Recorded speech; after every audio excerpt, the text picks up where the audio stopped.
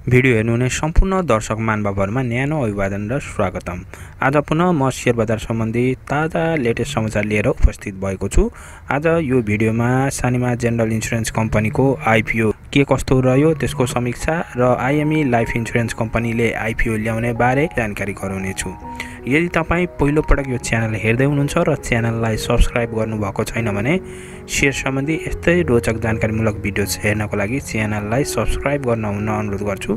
Subscribe button यस video तल रहेको छ। सब्सक्राइब प्रेस गरिसकेपछि नजिकै रहेको बेल बटन पनि दबाइदिनु होला ताकि यस च्यानलका नयाँ भिडियोज बन्न साथ त्यसको नोटिफिकेसन तपाईँहरूले प्राप्त गर्नुहुनेछ। मित्रहरू प्राप्त रिसेन्ट समाचार अनुसार सानिमा जेनरल इन्सुरेन्स कम्पनी लिमिटेडको सेयर एलोटमेन्ट भइसकेको छ र यो एलोटमेन्ट प्रक्रिया असोज तिस दुई हजार सतहत्तर साल एनआइसी एसिया क्यापिटल लिमिटेडको प्राङ्गणमा भएको छ र सानिमा जेनरल इन्सुरेन्स कम्पनी लिमिटेडले जम्मा तिस लाख किता प्राथमिक सेयर निष्कासन गरेको थियो र यो आइपिओ जम्मा तिस करोड रुपियाँको लागि इस्यु भएको थियो सर्वसाधारणको लागि र यसको म्याद असोज एक्काइसदेखि असोज पच्चिस दुई हजार सतहत्तरसम्म रहेको थियो भने यो म्यादभित्र जुन एप्लिकेन्टहरूले एप्लाई गर्नुभएको थियो यो एलटमेन्ट प्रोसिडरमा उहाँहरूले भाग लिनुभएको छ र धेरै आवेदन रद्द पनि भएको छ र रद्द विभिन्न कारणले हुनसक्छ जस्तै कि एउटै एप्लिकेन्टले दुईवटा डिमेट एकाउन्टबाट एप्लाई गर्नुभएको छ भने अथवा ब्याङ्क ब्यालेन्समा पैसा छैन भने अथवा तपाईँले एप्लाई गरेको सेयरको किता र तपाईँसँग ब्याङ्क ब्यालेन्स अपुग भएको अवस्थामा त्यो अवस्थामा पनि रद्द हुन सक्छ र प्राप्त समाचार अनुसार जम्मा तिन हजार तिन सय साठी आवेदन रद्द गरिएको छ र यो इनभ्यालिड तिन हजार तिन सय साठी एप्लिकेन्ट्सहरूले जम्मा बैसठी हजार दुई सय अस्सी किताको लागि प्राथमिक सेयर एप्लाई गर्नु भएको थियो। र सानिमा जेनरल इन्सुरेन्स कम्पनी लिमिटेडमा जम्मा तिस लाख किता प्राथमिक सेयर निष्कासन भएको थियो जसमा चाहिँ चार प्रतिशत सेयर एक लाख बिस हजार किता सानिमा जेनरल इन्सुरेन्स कम्पनी लिमिटेडको कार्यरत कर्मचारीहरूको लागि रिजर्भ गरेर राखेको थियो भने पाँच प्रतिशत सेयर अर्थात् एक लाख पचास हजार किता सामूहिक कोषको लागि रिजर्भ गरेर राखिएको थियो र उब्रेको सत्ताइस लाख तिस हजार किताको लागि मात्र सर्वसाधारणले एप्लाई गर्नुभएको छ जसमा तिन हजार तिन सय साठीवटा आवेदन रद्द गरिएको छ र प्राप्त समाचार अनुसार दुई लाख त्रिहत्तर हजार आवेदकले मात्र दस किता प्राप्त गर्नुभएको छ त्यो पनि लोटरी मार्फत र यो आइपिओमा जम्मा छ दशमलव एकासी गुणा ओभर सब्सक्राइब भएर गएको छ र पाँच लाख नब्बे हजार पाँच सय पैँतालिसजना आवेदकहरू रित्तो हात बस्नुपर्ने अवस्था आएको छ र मात्र दुई लाख त्रिहत्तर हजारजनाले दस किताब प्राप्त गर्नुभएको छ। त्यो पनि लोटरी मार्फत।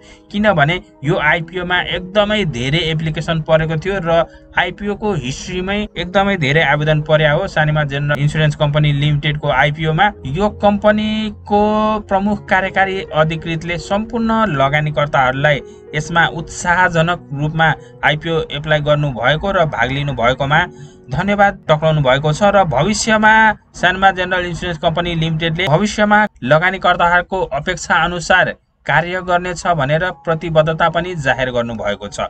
र यो आइपिओको रिजल्ट तपाईँले विभिन्न वेबसाइटहरू जुन सेयरको वेबसाइट छ जस्तै कि सेयर संसार डट कम मेरो लगानी डट कम यसमा गएर पनि हेर्न सक्नुहुन्छ। अथवा सबैभन्दा सजिलो तपाईँले मेरो सेयर लगइन गरेर मेरो सेयरभित्र जुन माई आस्पा भन्ने जुन अप्सन छ यो माई आस्पा बायाँतिर तलतिर माई आस्पा लेखिएको हुन्छ। माई पर्चेज सोर्स भन्ने जुन अप्सन छ त्यसको माथि माई आस्बा भन्ने यो अप्सन हुन्छ। त्यहाँ क्लिक गरिसकेपछि तपाईँले यहाँ चारवटा अप्सन हेर्न सक्नुहुनेछ। Current issue apply for issue application report old application report र एप्लिकेसन रिपोर्टमा क्लिक गर्नुहोस् र एप्लिकेसन रिपोर्टमा क्लिक गरिसकेपछि तपाईँले एप्लाई गरेका आइपिओहरूको यहाँ लिस्ट आउनेछ। र यो लिस्ट यहाँ देखाइसकेपछि तपाईँले सानिमा जेनरल इन्सुरेन्स लिमिटेड मा यहाँ रिपोर्ट भन्ने जुन अप्सन छ त्यसको दायाँतिर त्यहाँ क्लिक गर्नुभयो भने तपाईँलाई सेयर परेको नपरेको क्लियरली देखाउँछ। यदि तपाईँलाई सेयर परेको छ भने एलोटेड भनेर देखाउँछ। यदि तपाईँलाई सेयर परेको छैन भने नट एलोटेड भनेर देखाउँछ। र तपाईँलाई अहिले तपाईँको जुन पैसा छ त्यो ब्लक स्टेटसमै बस्छ। यदि सेयर परेको छ भने तपाईँको एकाउन्टबाट हजार रुपियाँ डेबिट भएर जान्छ अथवा तपाईँको एकाउन्टबाट हजार रुपियाँ घटेर जानेछ भने यदि तपाईँलाई सेयर परेन नट एलोटेड भन्ने म्यासेज आयो भने तपाईँको जुन रकम ब्लक भएर बसिएको थियो त्यो हजार रुपियाँ पुनः तपाईँको ब्याङ्क एकाउन्टमा आउनेछ तपाईँको हजार रुपियाँ घट्ने छैन। र यो आइपिओ पर्ने सम्पूर्ण लगानीकर्ताहरूलाई म बधाई दिन चाहन्छु। र यसको आइपिओको प्राइस कति हुनसक्छ त सेयर बजारमा ट्रेडिङको लागि? जुन ओपनिङ प्राइस हुन्छ त्यो कति हुनसक्छ? यसको एजुम्सन मैले यहाँ गरेको छु। र यो कम्पनीको करेन्ट फिजिकल इयर आर्थिक वर्ष दुई हजार छिहत्तर सतहत्तरको प्रतिवेदनको अनुसार कम्पनीको नेटवर्थ रहेको छ एक सय नौ दशमलव एक।